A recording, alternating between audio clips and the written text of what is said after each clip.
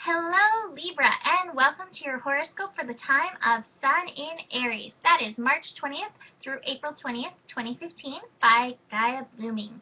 And usually at this point I go all through all the planetary changes and shifts, and I already did that in an Aries overview video, so check that out if you want to know any planetary shifts. I am going to mention one. You have a total lunar eclipse in your sign, full moon in Libra, happening on April 4th. So, you know, a lunar eclipse, eclipses in general are a time of change. A total lunar eclipse is definitely bringing change into relationships, having it in your sign. And this is for everybody, not just for you.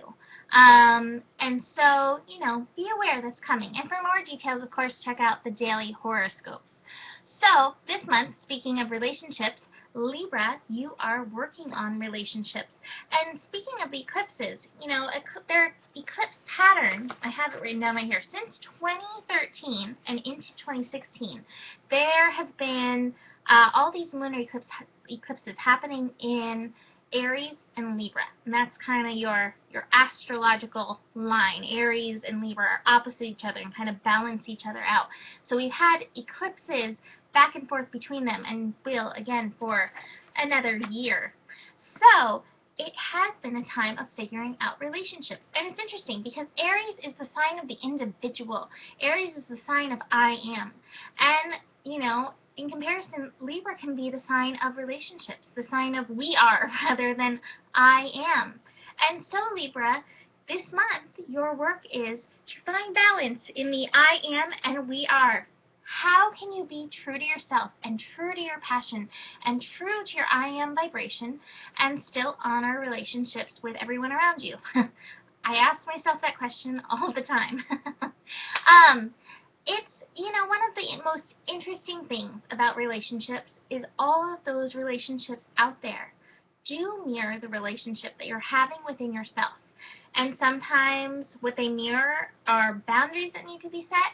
Sometimes it mirrors areas we could be kinder to ourselves, and sometimes it can mirror areas where we basically give and give and give and give and find ourselves depleted.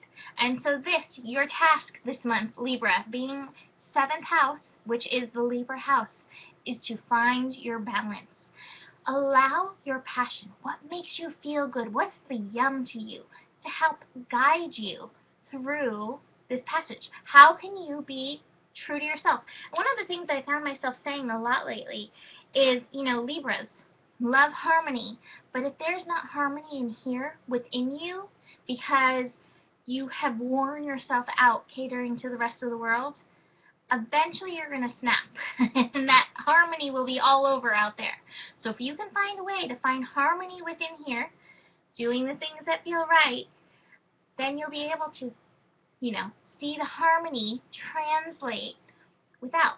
Again, this is about being true to you and following your, following, I don't know, following your truth, following your own initiative, doing things that are right for you. You know, Libra is so good at finding that balance and finding the justice that a lot of times I don't think Libra is going to like sway too far outside of that that realm.